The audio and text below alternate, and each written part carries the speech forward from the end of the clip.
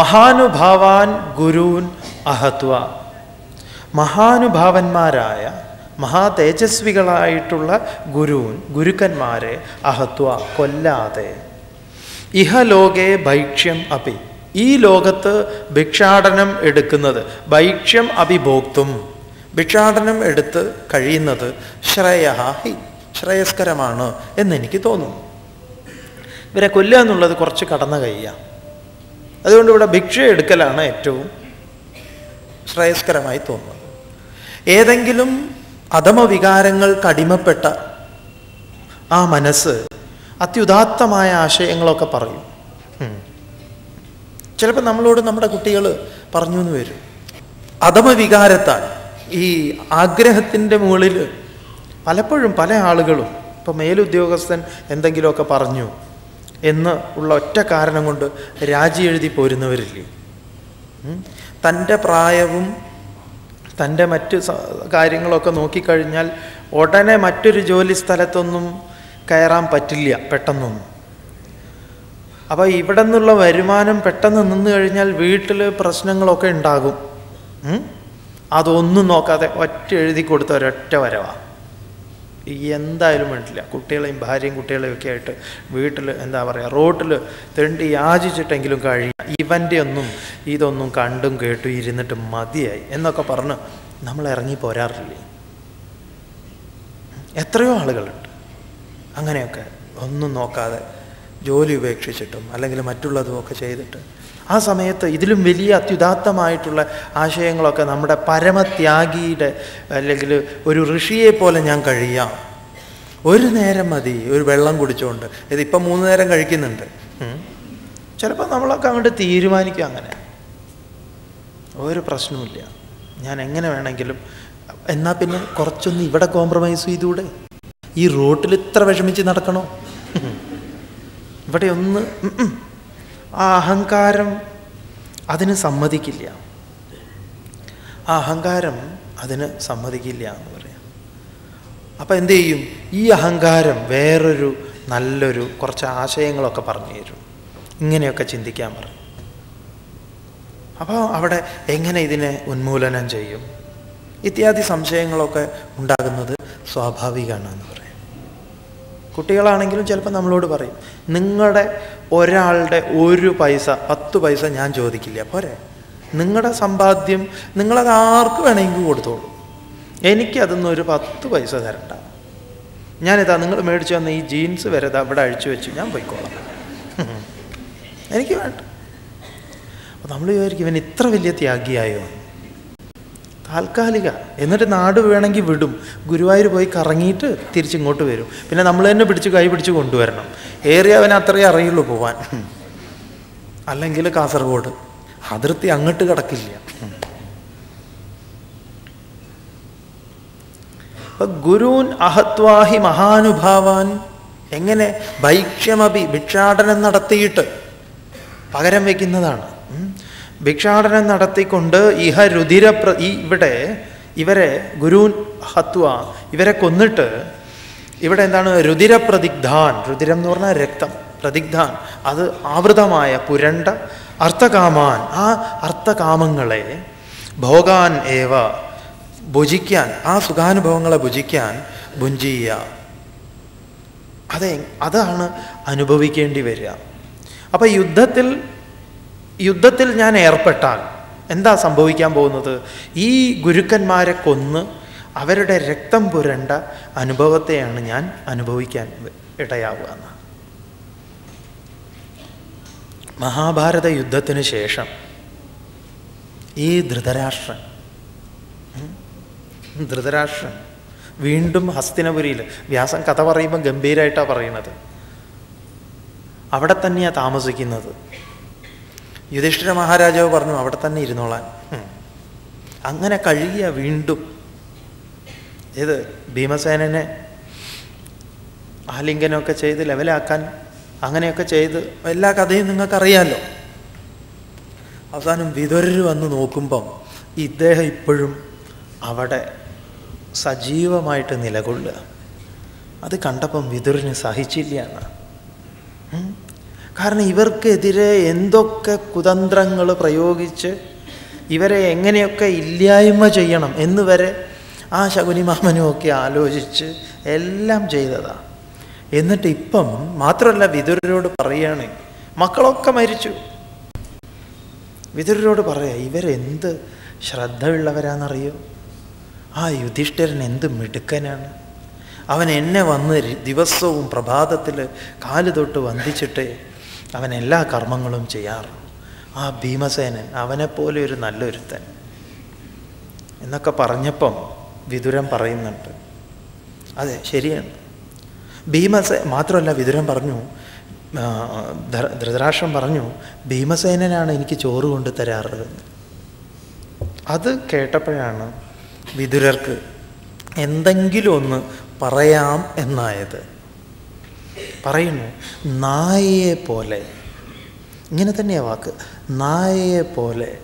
അങ്ങ് ഭീമൻ കുഴച്ചു തരുന്ന പിണ്ടച്ചോർ ഉണ്ട് ഇവിടെ കഴിയുമ്പോൾ അങ്ങേക്ക് സുഖം തന്നെയായിരിക്കും എന്ന് ഞാൻ കരുതുന്നു.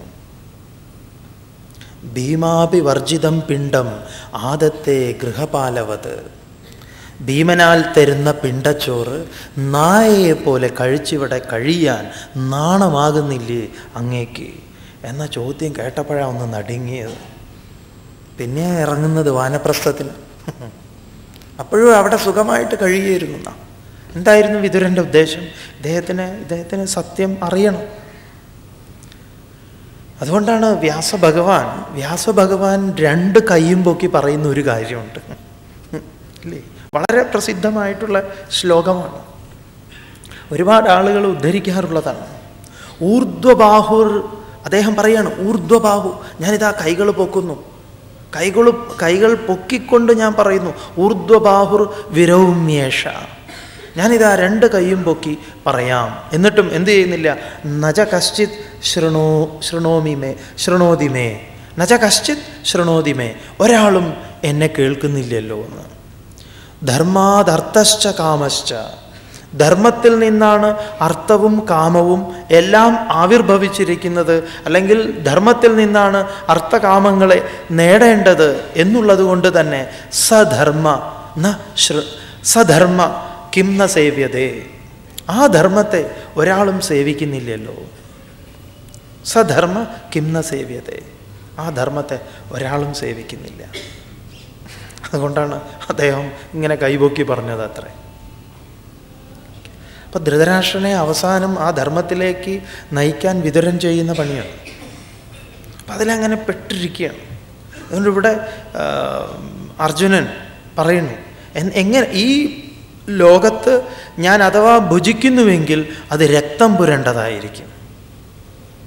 അതുകൊണ്ട് ഭഗവാനെ ഞാൻ ഭിക്ഷ എടുക്കാമെന്ന് പറയാം. ഭിക്ഷാടനാണ് എനിക്ക് ശ്രേയസ്കരം എന്ന് തോന്നുന്നു.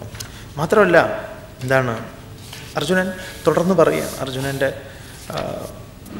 അർജുനൻ എന്താ പത്ത് വരെ ശ്ലോകങ്ങളിൽ ഒൻപത് വരെ ശ്ലോകങ്ങളിൽ അർജുനന്റെ അർജുനൻ ഭഗവാന്റെ മുൻപിൽ തന്റെ സംശയങ്ങളെയൊക്കെ വെക്കുന്നതാ. നോക്കാം നമുക്ക്.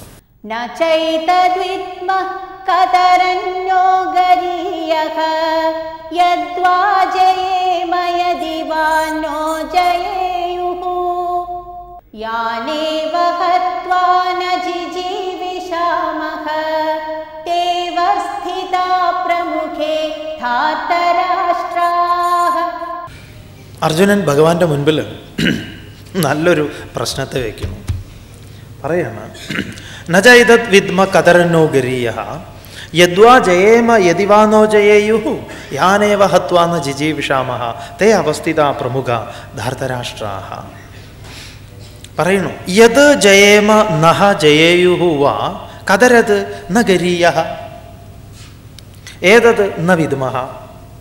യത് ജയേമ വയം യത് ജയേമ. ഞങ്ങൾ അവരെ ജയിക്കുന്നതാണോ? അതോ അവർ ഞങ്ങളെ ജയിക്കുന്നതാണ്? ഏതാ ശ്രേയസ്കരം? ചോദ്യം എങ്ങനെയുണ്ട്? ഞാൻ കൗരവന്മാരെ ജയിക്കണോ? അതോ കൗരവന്മാർ എന്നെ ജയിക്കണോ? ഭഗവാൻ ഏതാണ് ഇപ്പം ഇതിൽ ശ്രേയസ്കരം? യത് ജയേമ ന ജയേയുഹുവ കതരത് ന ഗരീയ ഇതിൽ ഏതാണ് ശ്രേഷ്ഠം ശ്രേയസ്കരം? ഏതത് ന വിദ്മഹ? ഇതിനെ ഞാൻ എനിക്ക് മനസ്സിലാവുന്നില്ല. അതായത് നാം വികാരങ്ങളെ ജയിക്കണോ? അതോ വികാരങ്ങൾ നമ്മെ ജയിക്കണോ? ഏതാ വേണ്ടത്. ഇതാണ് അർജുനൻ ചോദിക്കുന്നത്. മാത്രമല്ല യാൻ ഹത്വ. ആര് ആരെ കൊന്നാലാണോ ജിജീവിഷാമഹ എന്ന? പിന്നെ ജീവിക്കാൻ ആഗ്രഹമില്ലാത്തത്? തേ ധാർത്തരാഷ്ട്രാഹ. ആ ധൃതരാഷ്ട്രപുത്രന്മാർ പ്രമുഖെ അവന്മാരിതാ മുൻപിൽ അവസ്ഥിതാഹ അണിനിരന്ന് നിൽക്കുന്നു. ഇതും ശരിയാണ്. നമുക്കുള്ളൊരു പേടി എന്താണെന്നറിയോ? കുട്ടികൾ സ്വാമിയായി പോയി കഴിഞ്ഞാൽ അപ്പം ഈ അടുത്ത് ഒരു ഒരമ്മ നമ്മളെ വിളിച്ച് പറഞ്ഞു സ്വാമി ഇപ്പോൾ ഏതോ ടി വിയിലൊരു സ്വാമിനി പറയുന്നുണ്ടല്ലോ അത് നിങ്ങളുടെ ആശ്രമത്തിലാണ് അതെ. അപ്പോൾ അവർ എങ്ങനെയാ കല്യാണമൊന്നും കഴിച്ചിട്ടില്ലേ? ഇല്ല. അയ്യോ പാവം. അതിനോട് പറയും ഒരു കല്യാണമൊക്കെ കഴിച്ച് അവിടെ ഈ രണ്ട് കുട്ടികളൊക്കെ ആയിട്ട് വരാൻ. ശരിക്കും പറഞ്ഞത് അവർ ഇതൊക്കെ നിങ്ങളൊക്കെ പറഞ്ഞാൽ മതി. അപ്പം നമ്മുടെ കുട്ടികൾ ആശ്രമത്തിൽ പോകണു നമ്മുടെ കുട്ടികൾ ആശ്രമത്തിലേക്ക് പോകാമെന്ന് പറയാം. ആരെങ്കിലും ശരി എനിക്ക് സ്വാമി സ്വാമിയാവണം എന്ന് പറഞ്ഞാൽ നിങ്ങളെന്താ പറയുക മോനെ ഗീതയൊക്കെ കേട്ടോ പക്ഷേ ഒരിക്കലും സ്വാമി സ്വാമിയാവണ്ട. കാരണം എന്താ? നീ ഒരു കല്യാണമൊക്കെ കഴിച്ച് ഒരു ജോലിയൊക്കെ ആയി അതിൽ രണ്ടോ മൂന്നോ കുട്ടികളൊക്കെ ആയി അങ്ങനെ കുടുംബമൊക്കെ ആയി സുഖമായിട്ട് കഴിയണം. പക്ഷേ ഈ സുഖമായി കഴിയലുണ്ടാവുമോ എന്നുള്ളത് ഇതൊക്കെ കഴിഞ്ഞ് ജീവിക്കുന്നവരോട് ചോദിച്ചാൽ മതി. സിനിമയിലൊക്കെ കാണും ചിലപ്പം. അങ്ങനെ അവർ സുഖമായി കഴിഞ്ഞു എന്ന്. പിന്നെയാണ് അസുഖം തുടങ്ങുക. പറഞ്ഞു വന്നത് പല സൗഭാഗ്യങ്ങളും അല്ലെങ്കിൽ പലതും നമുക്ക് ഉപേക്ഷിക്കേണ്ടതായി വരും എന്നുള്ളൊരു തോന്നലുണ്ടല്ലോ. അതൊരു ഭയമാണ് നമ്മെ സംബന്ധിച്ച്. അതുകൊണ്ട് ചെറുപ്പക്കാരൊക്കെ ഈ ആധ്യാത്മികതയിലേക്ക് തിരിഞ്ഞു കഴിഞ്ഞാൽ വീട്ടിലുള്ളവർക്ക് പേടിയാണ്. അവരാണെങ്കിൽ ഓരോരോ ലക്ഷണങ്ങളും കാണിക്കും. അവർ പിന്നെ കാവ്യം കൊണ്ട് ഉടുക്കാൻ തുടങ്ങും. പിന്നെ അച്ഛൻ ചോദിക്കാണ് എടാ എന്താ നിനക്ക് വേണ്ടത്? എനിക്കൊന്നും വേണ്ട. ഒന്നും വേണ്ട. അച്ഛനൊരു കാര്യം ചെയ്യും ഒരു കാവ്യമുണ്ട് മേടിച്ചോളൂ. അങ്ങനെയൊക്കെ പറഞ്ഞു കഴിഞ്ഞാൽ അല്ലെങ്കിൽ ഭാര്യ ഇപ്പം കുറച്ചായിട്ട് ഗീതാ ക്ലാസ്സിനൊക്കെ വരുന്നുണ്ട്. അവർക്ക് തോന്നി ഇനി പുതിയ സാരി ഒന്നും മേടിക്കേണ്ട. പഴയത് തന്നെ മതി. എന്താ വേണ്ടത്? എനിക്കൊന്നും വേണ്ട എന്ന് പറഞ്ഞാൽ ഭർത്താവിന് ചെറിയൊരു ഭയം തുടങ്ങും കാരണം പരിത്യ ഇവൾ അങ്ങോട്ട് പരിത്യജിച്ച് തുടങ്ങുകയാണോ എല്ലാം. അങ്ങനെ ചില പലപ്പോഴും ഈ ആധ്യാത്മികത എന്ന് പറഞ്ഞാൽ ഈ ഭൗതികമായ ഐഹികമായിട്ടുള്ള ഈ സുഖഭോഗങ്ങളുണ്ടല്ലോ. നമ്മുടെ ഈ നിത്യജീവിതത്തിൽ നാം അനുഭവിക്കുന്ന അനുഭവങ്ങൾക്ക് എതിരാണ് ആധ്യാത്മികത എന്നൊരു ധാരണയുണ്ട്. അതുകൊണ്ട് ഇവിടെ വിഭജനങ്ങൾ സൃഷ്ടിച്ചിട്ടുണ്ട്. ആധ്യാത്മികത എന്നും ഭൗതികത എന്നും. ഇപ്പോൾ ഇപ്പൊ ഒരു സ്വാമി ഒരു വീട്ടിലേക്ക് പെട്ടെന്ന് കയറി വരുന്നു എന്ന് വിചാരിച്ചു കഴിഞ്ഞാൽ അവിടെ ഉള്ളവർ ആദ്യം ചെയ്യുക ആ ടി വി അങ്ങോട്ട് ഓഫ് ചെയ്യും. കാരണം ടി വി എന്ന് പറഞ്ഞാൽ സ്വാമിക്ക് പറ്റാത്തൊരു അലർജി ആയിട്ടുള്ള എന്തോ ഒരു സാധനമാണ്. പിന്നെ മത്സ്യമാംസങ്ങളൊക്കെ കഴിക്കുന്ന വീടാണെങ്കിലോ അവിടെ സ്വാമിക്ക് കയറാൻ പാടില്ല എന്നാണ്. അല്ലെങ്കിൽ സ്വാമി ഇങ്ങനെയുള്ളതൊക്കെ നിങ്ങളുടെ ഇപ്പോൾ ഇപ്പോൾ ഒരുപാട് ഒരുപാട് ധാരണകളുണ്ട്. അപ്പോൾ നിങ്ങൾക്ക് തോന്നണ്ടേ സ്വാമി ഇനി കഴിക്കുന്നുണ്ടോ എന്ന്? അതെ. അങ്ങനെയാണ്. എന്തെങ്കിലുമൊക്കെ പറഞ്ഞ അപ്പോൾ അബദ്ധമാണ് അത്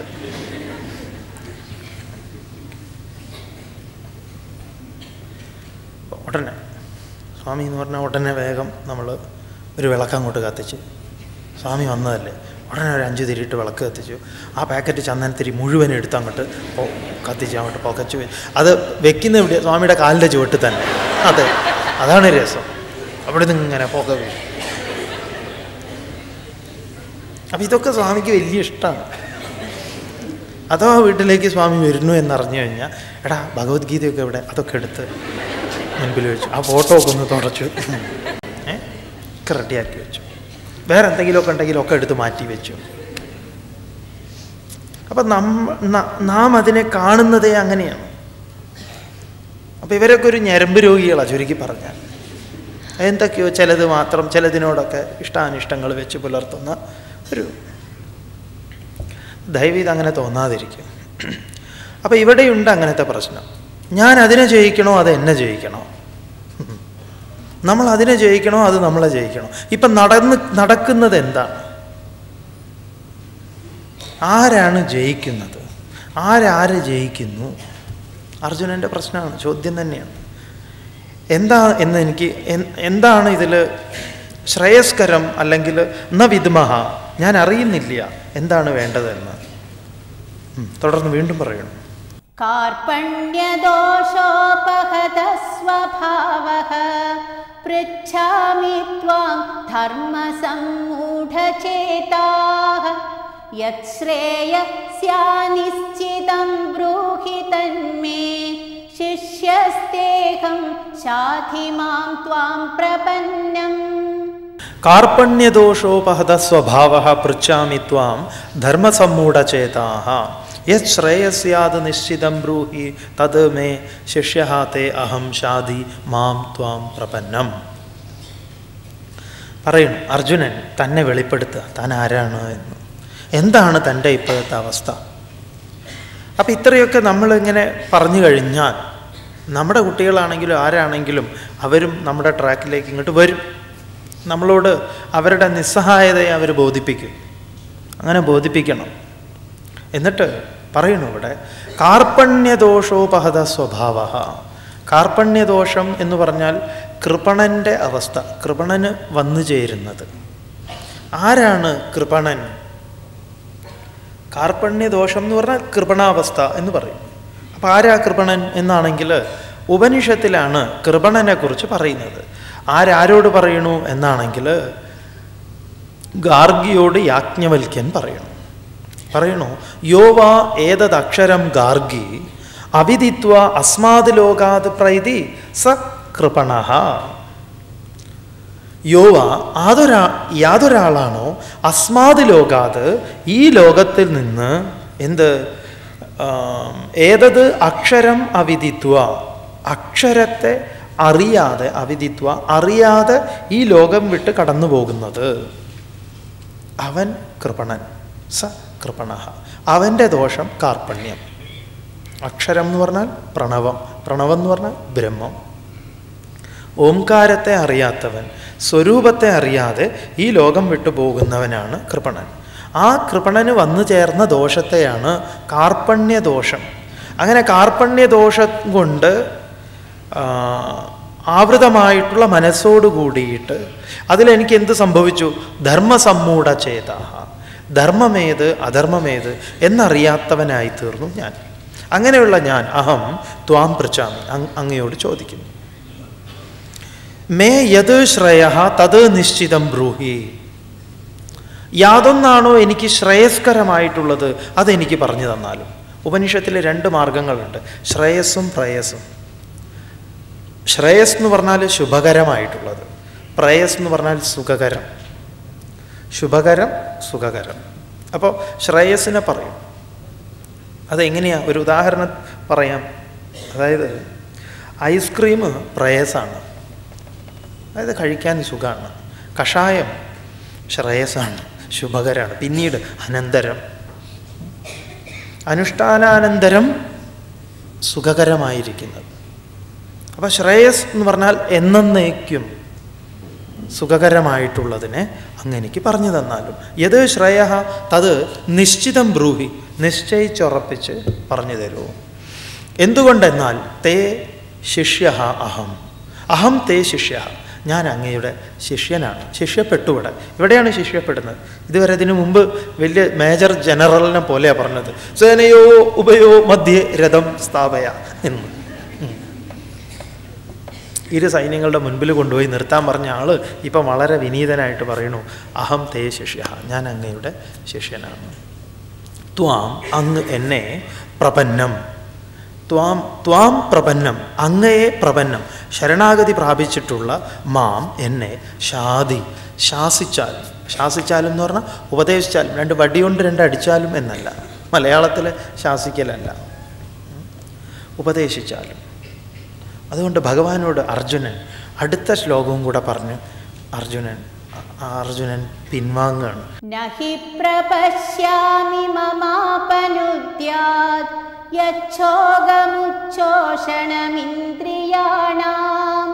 അവാപ്യ രാജ്യം സുരാണാമപി ചാധിപത്യം. ഭഗവാനോട് അർജുനൻ പറയുന്നു ഭഗവാനെ ഈ ഭൂമിയിൽ ഐശ്വര്യസമൃദ്ധമായ ഭൂമി ഒരു ശത്രുക്കളുമില്ലാത്ത ഭൂമി കൈവരിച്ചാൽ പോലും എന്റെ ഇപ്പോഴത്തെ പ്രശ്നത്തിന് പരിഹാരമാകും എന്ന് തോന്നുന്നില്ല. കാരണം എന്റെ ഇന്ദ്രിയങ്ങളൊക്കെ ചുട്ടുപൊള്ളുന്നു. എനിക്ക് ഈ പ്രശ്നത്തിന് പരിഹാരം കിട്ടണം. അതുകൊണ്ട് അങ്ങ് അങ്ങയിൽ ശരണാഗതനായിരിക്കുന്ന എനിക്ക് ഈ പ്രശ്നത്തിനൊരു ഉത്തരം നൽകിയാലും ഭഗവാൻ ഇതിന് സമാധാനം പറയാൻ പോവുക നാളെ. നാളെ ഭഗവത്ഗീത ആരംഭിക്കുന്നു. അപ്പം ഇത്ര ദിവസവും സ്വാമി. നാളെയാണ് ശങ്കരാചാര്യ സ്വാമികളുടെ ഭാഷയിൽ പറഞ്ഞാൽ ഗീത ആരംഭിക്കുന്നത്. ശങ്കരഭാഷ്യം തുടങ്ങുന്നത് നാളെയാണ്.